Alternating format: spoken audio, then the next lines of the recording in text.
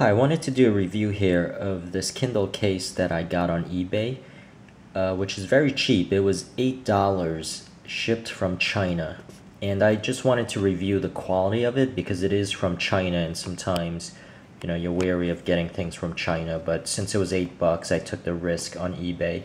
So it was 8 bucks with free shipping. And it turns out it's very high quality. So you'll see it's made of uh, faux leather and it does have the embossed Kindle logo on it.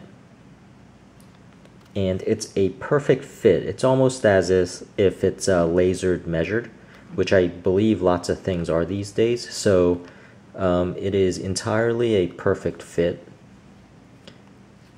And it is tough enough such that I've dropped this a couple of times and it has protected it from damage from the dropping. Uh, you know maybe dropping it four feet uh, I'm not sure if it was five feet, but it was probably around four feet. So as I go around, uh, you'll notice uh, there's an opening here with the charger and also the power button. But one neat aspect of this is that when you turn it, when you open it, the Kindle itself turns on. So I think it has something to do with this magnet.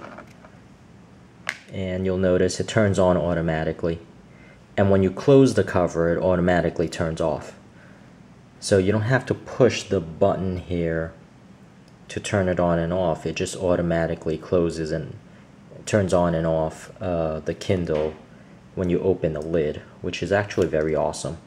Uh, not something I actually expected from a $8 product from China but I think it's probably just something built into the Kindle. So you see inside here there's some suede suede-like material and it is sewn in. So you see the threads here. You see this logo here. And you see how it's a perfect fit all around. And in general it's just a awesome buy.